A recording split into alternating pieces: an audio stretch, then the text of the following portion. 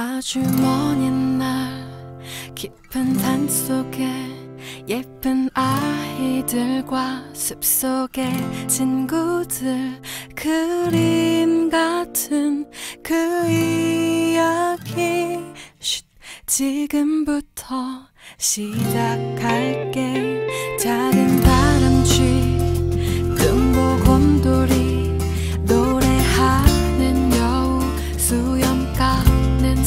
찾아